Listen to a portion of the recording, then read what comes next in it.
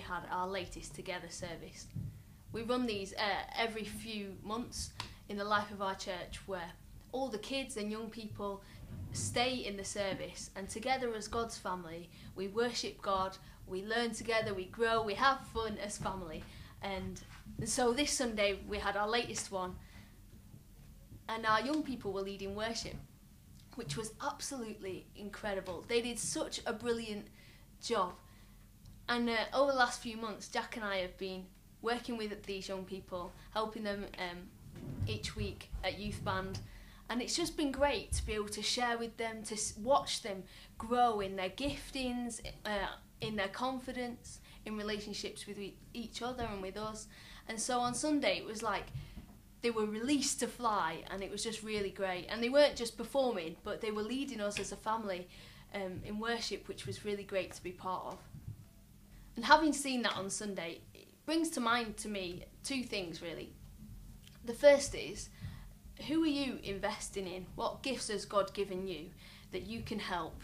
Maybe the next generation, or, or, or maybe not necessarily people who are younger than you, but just invest in other people to help them grow and develop in the things that God has called them to do. Because as we do that, we ourselves grow, but we also get the privilege of watching others grow and develop to be all that God's called them to be. We get to partner with God in his transformation of his people, which is a really incredible privilege.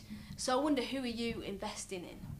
And the second thing is, these young people, uh, some of them are, have only just started secondary school. A few months ago, they would have never thought it possible for them to be leading worship in church on a Sunday morning. Even a few weeks ago, when I suggested it, a lot of them were quite scared about it and didn't think they were able.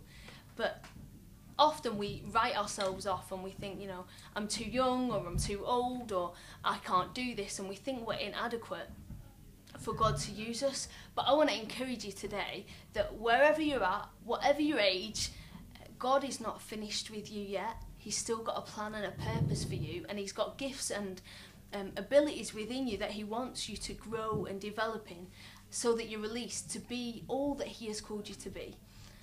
So, who is it that you're investing in?